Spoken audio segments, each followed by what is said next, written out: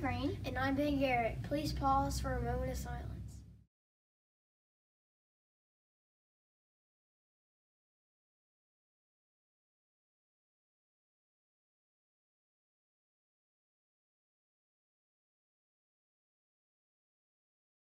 Please stand for the Pledge of Allegiance. I pledge allegiance to the flag of the United States of America and to the republic for which it stands, one nation, under God, indivisible, with liberty and justice for all.